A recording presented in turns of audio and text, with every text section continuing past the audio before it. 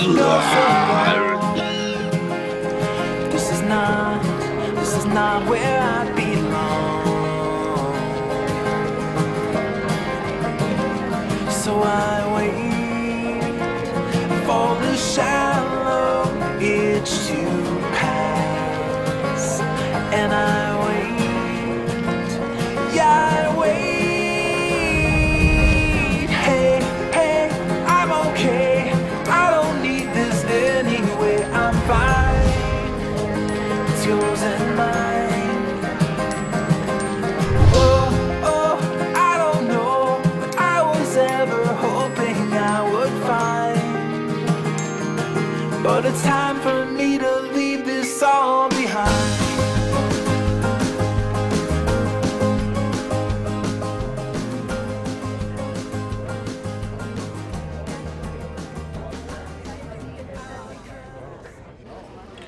Uh, hi, I'm Mark. You must be Gyna. Oh, hello, how are you? Mark, for so long I have wanted to be here with you. Uh, okay. Well, welcome to Go Out Outback Adventures, where the adventure of a lifetime is waiting for you. I think we should have a drink. Uh, You're a pom. I'm sure you enjoy a drink or two. Am I right? I don't know what came over me. It's fine. Uh, they don't like me, do they? Yeah, nah, they're just country people. And you must be a city woman. Am I right? I come from a city with a very different culture than yours. That get-up's very different, but nice. Thank you. You're very kind. Is everything all right? Um, yes, of course. You do like beer, don't you? Uh, Well, here's to an adventure you'll never forget. And then she left me. you would have to be the saddest man ever, and you're the first one I've met. What? The saddest man you've ever met?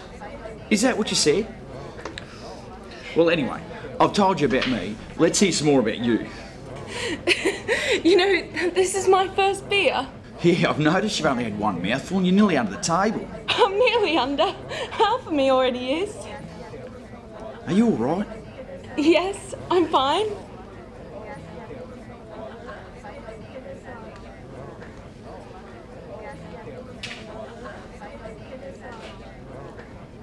Are you in some sort of trouble? Nothing you've said so far makes any sense. You're a complete mystery. You can trust me. Have you ever felt you were destined for something? Something far greater than what you are now? There you go again. I want to help you. And are you? There will be a time when all is revealed. That's what I'm afraid of. All I need from you now is to help me get to Manaru. Manaru? What's it Manaru you want? A way home? There you go again. No more questions from me. I need another drink. At least you're a cheap shout. Keep sipping. Women. This isn't going well. Maybe I should just tell him the truth. I don't think I should start taking samples yet. I need to get these people to trust me. Alright, so where were we? Oh yeah, who are you? Miss Cliche? The whole bar wants to know who you are, and they're all looking to me for answers. Okay, Mark, you want to know who I am? Okay, this will be good. I am. You're what? I am Wangina!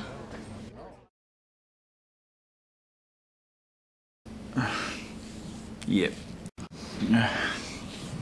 Okay. Is that supposed to mean something to me? Or anybody? Destiny has chosen you, Mark. I am here to bring balance back to the human race, and I've come from the future. Uh huh.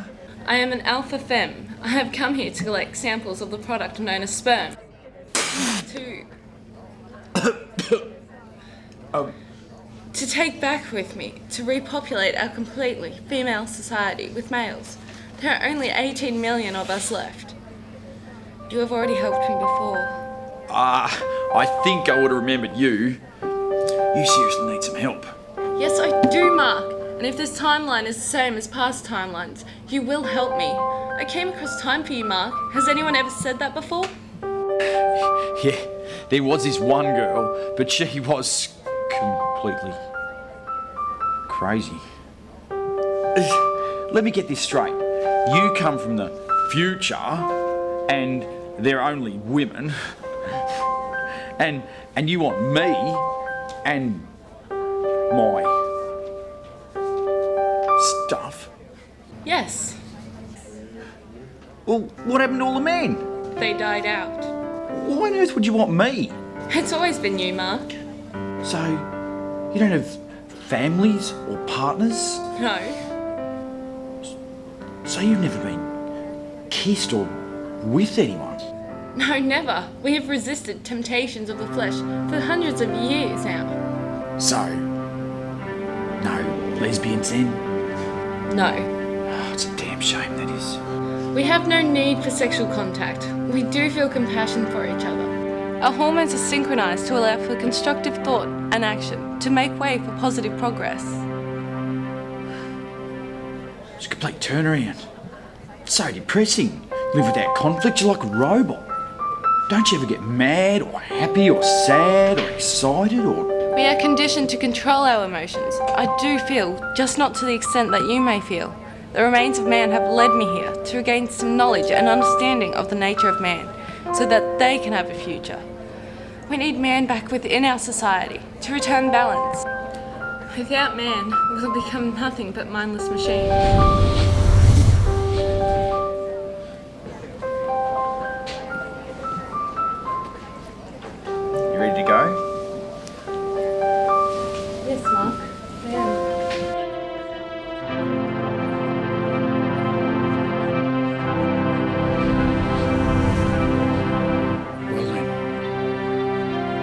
Being saviour of all mankind.